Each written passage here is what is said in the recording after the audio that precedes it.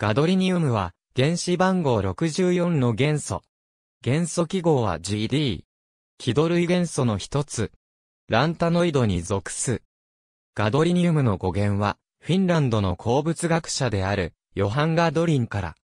ヨハンは、イットリア鉱石からガドリニウムを分離したほか、銅鉱石の主成分であるイットリウムを発見したことでも知られる。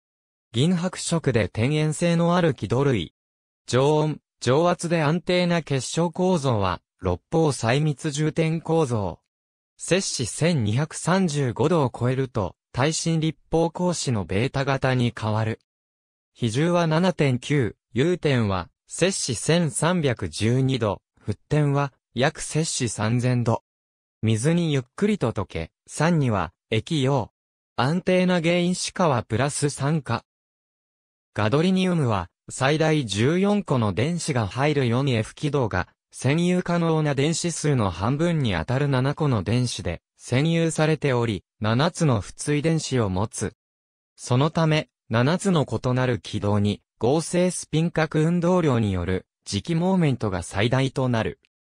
このことから、ガドリニウム作体は、磁性材料や MRI 検査用の造影剤に利用されている。酸化の非 4GD3 も 4F7 の玉対象な電子配置を取るため、化合物中の原子化も無色の酸化が唯一安定な状態となる。室温以下で強磁性も示し、そのキュリー点は摂氏20度である。また、ガドリニウムは中性子吸収弾面積が非常に大きいので、原子炉の制御材料などに使われる。中でもガドリニウム157の吸収力が優れている。ジャン・マリニャックが1880年に発見。ありがとうございます。